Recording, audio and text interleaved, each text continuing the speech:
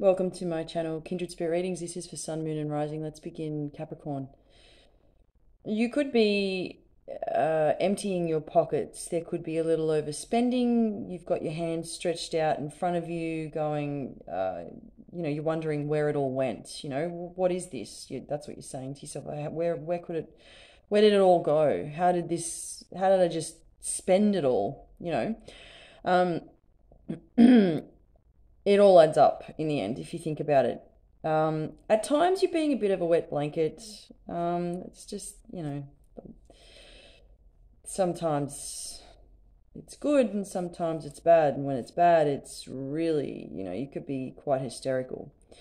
Somebody could also be making you upset. Um, and this is intentional and it's really not fair.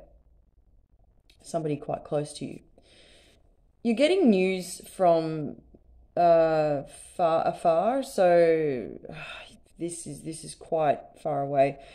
You may need to get your eyes checked by an eye specialist. Um, uh, there are two people. One is a male, and he has his head down, and he's very sad. And the other, the other person, is a female, and she has the biggest smile on her face, as though nothing is wrong and she's trying to convince this, convince herself of this to this other male.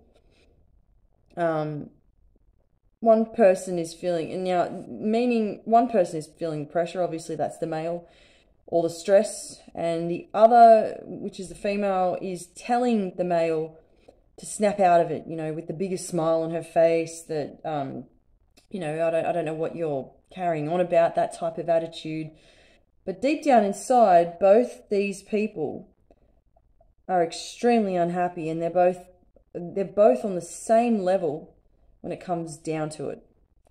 Thank you, Capricorn.